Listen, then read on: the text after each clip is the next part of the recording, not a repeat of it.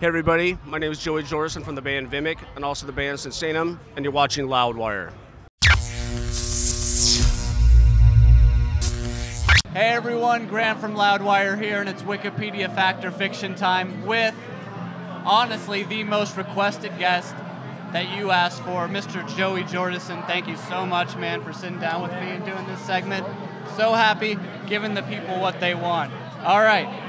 So first of all, they do get the basic stuff wrong sometimes. So uh, Nathan Jones Jordison, born in Des Moines, Iowa. Yep, born in Des Moines, Iowa. Nathan. Jonas. Jonas is my middle Jonas. name. Uh, see, it says, Yeah. it says Jonas. J O N A S is my uh, middle See, name. Nathan some- Jonas Jordison, yep. Already some fiction. All right. So we got that one. Uh, said that some pseudonyms you've gone by in the past have been Speedball, Superball, and Scarecrow. Scarecrow and Speedball, no, but Super Ball, yes. Okay, so that's wrong. Uh, Speedball, you said was correct. No, that's incorrect. Okay, Superball is right. Super Ball is right. That was a nickname that I got in the early Slipknot days because I get myself so worked up. I was kind of like literally bouncing off the walls, and Sean from Slipknot, clown, Yeah, he's yeah. like, "Man, you're like a you're like a Super Ball," and it just ended up sticking, you know, with the crew and the band and everything. So that's how I got the nickname. It was a long time ago. This is like 1997, 98. Way back so when. yeah. All right, so there you go. More fiction and a little bit of fact. Uh, as your main influences, you cite Keith Moon, Yep. John Bonham, Peter Criss, Gene Krupa, and Buddy Rich.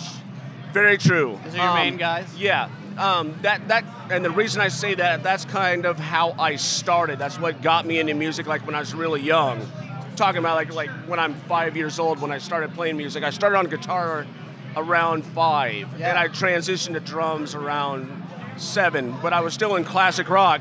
It wasn't until I heard Kiss Alive is when I started getting into that, that, that was my first cassette I ever bought was Kiss Alive just because of the cover. Yeah. And I was changed forever then. So and from then I just became completely in, engulfed in metal.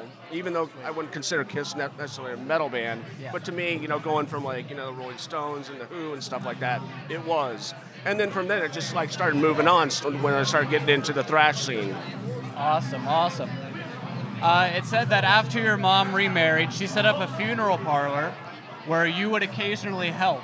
Yep. And you felt a responsibility at a young age to become the man of the house.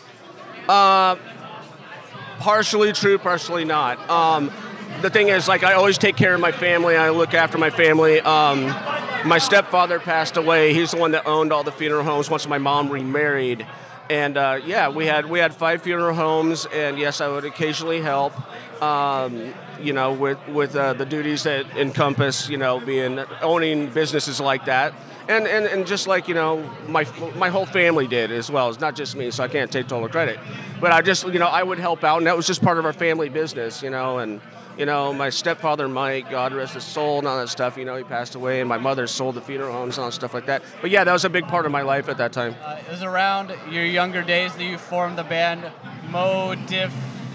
Modifidious? Modifidious, thank you. Uh, and you- which you played drums. And you used to perform at a bowling center your family owned on a night called Rock and Roll Bowl.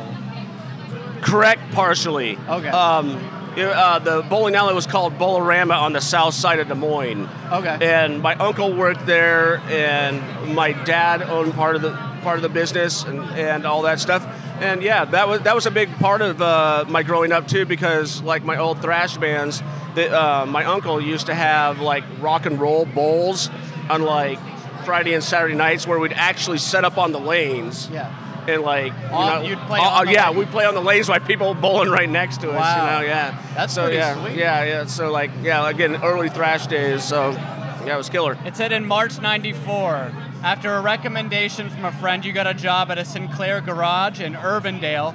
You worked the night shift, which you preferred because it left weekends free and days free so you could spend time with your friends and you enjoyed listening to music while working. Very, very true. Yeah. Uh, another reason is um, I got a recommendation from a mutual friend that worked there, and uh, he was a metalhead as well.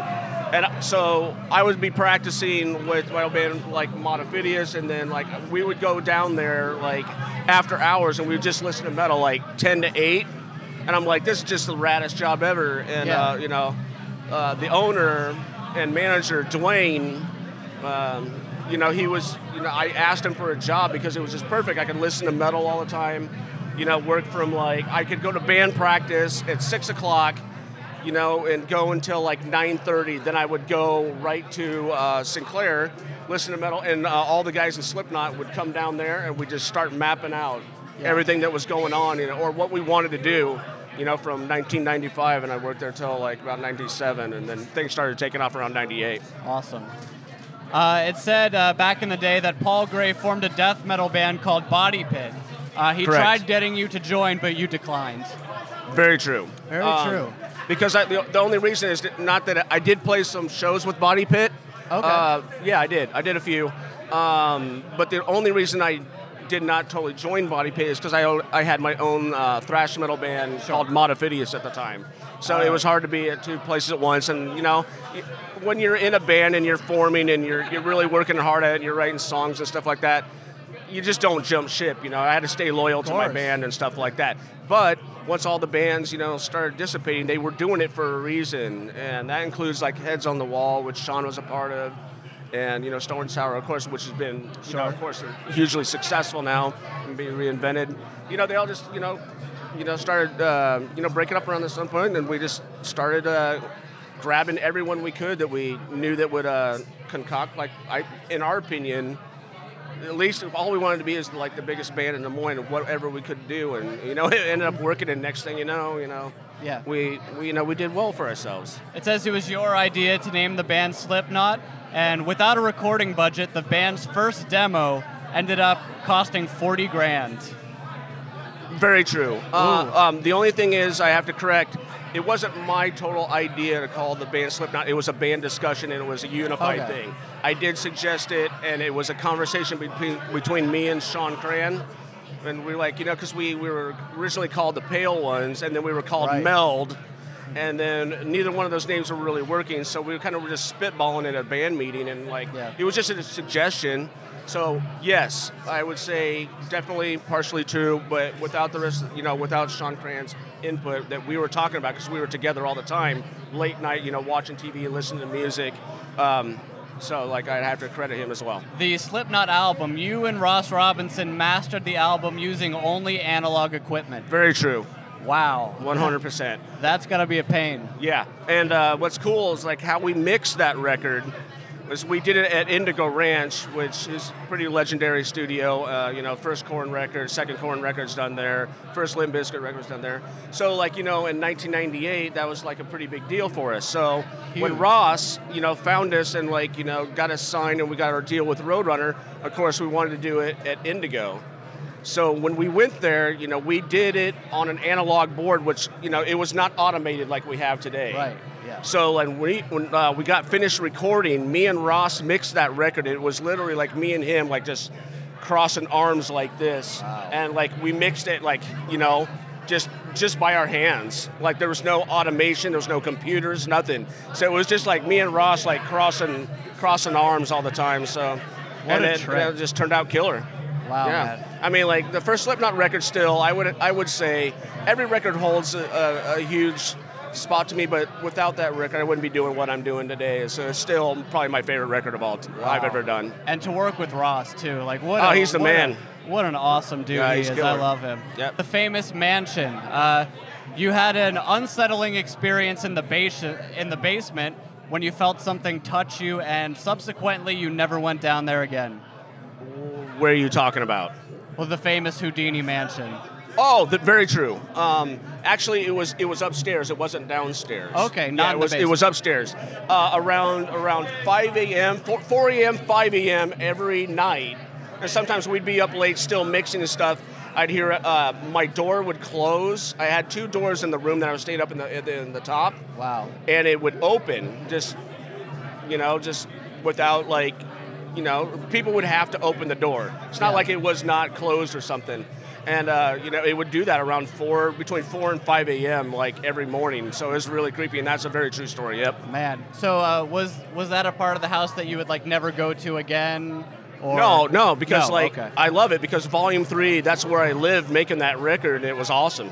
So Wow. I, I'd love to revisit it, you know, someday soon. Yeah, it'd be the really cool. Just to, yeah, really love to go back there and just, you know, hang out and like kind of just revisit those memories. Because when you make a record somewhere, every time you go back, you feel that presence. You know, like what you created and what you get to release to the world and everything. So it's been it's been awesome. Awesome. So a little bit of fiction in that one. Uh, it says that you consider Women and Children Last as really the first true Murderdolls record. Correct. Yeah? Um, Beyond the Valley is great, but it was kind of like I consider it a glorified demo because I recorded that all myself, and we didn't do it with a producer. I produced it myself with an engineer in Des Moines, and you know I, I love that record. I love listening to it, but you know we didn't have a budget or anything, so like it's basically just like a demo, and you know we you know Roadrunner wanted to sign it and put it out, so we weren't doing nothing with Slipknot at that time. So yeah, we put that out, but uh, I, I consider um, you know. The Women and Children Last is actually the first Murderdolls record. Gotcha. Uh, Sinsaenum, uh, guitaric Frédéric Leclercq, uh, who composed all the music on Echoes of the Tortured and co-wrote all the lyrics. He had some death metal demos, but his commitments to DragonForce prevented him from seeing the light of day. The death metal demos, I guess. Uh, true and false. okay. I, um, me and Fred, when we were touring with Slipknot and DragonForce, came Yeah. up with the idea of forming a death slash black metal hybrid type project. And a lot of bands, you know, they talk about, oh, you know, we need to do a side project sometime, and they never come into fruition, you know. But as far as like the composing, as far as like the music of Sinsaenum, it is pretty much Fred's baby, you know. And but and, and the lyrics are definitely Attila and, and Sean Z. Oh, of course. Yeah. But all the guys, you know, uh, in, in that band are amazing. I love Attila. Oh, thank you, that thank you. guy is brilliant. Yeah, that, that, that band is solid as.